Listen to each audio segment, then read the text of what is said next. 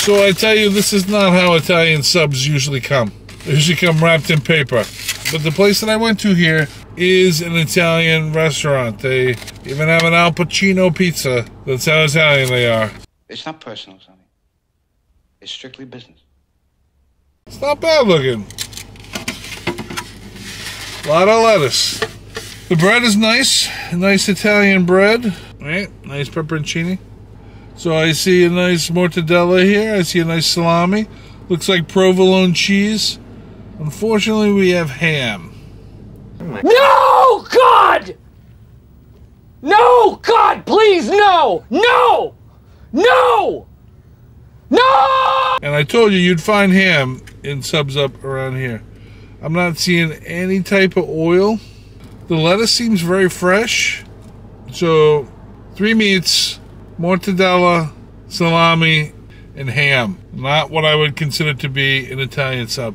Maybe a cold cut sub. The bread is fantastic. See, this is what I mean. Let's take a taste.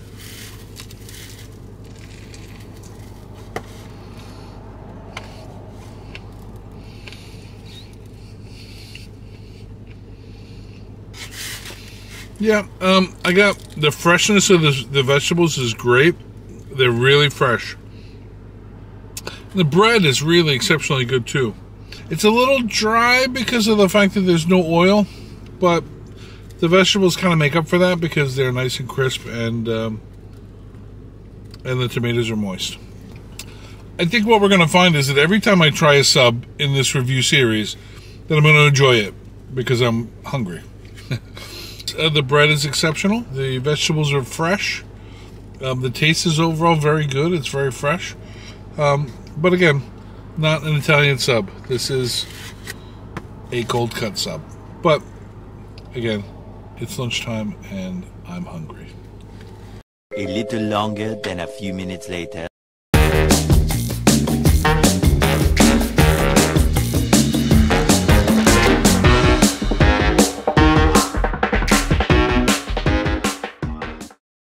Sub number one. Bread. I'd say the bread was a good eight.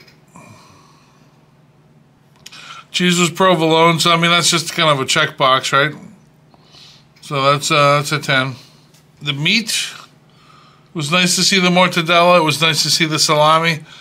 The ham is okay, but we're gonna give that one a seven, just because it had ham.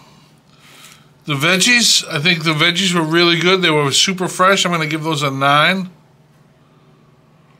And the condiments, I like the relish. Um, I like the fact that there's oil there. I wish there was something more. Uh, I'm going to give the condiments an 8. So I watched my sub being made. It was uh, made by a, a, lovely mom that was uh, uh, uh knew exactly what she was doing. She obviously put a lot of care into this.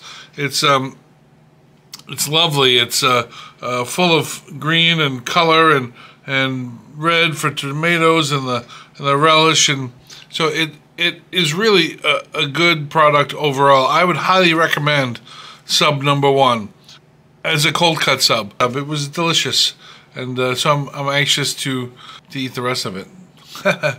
so um, yeah, really good overall.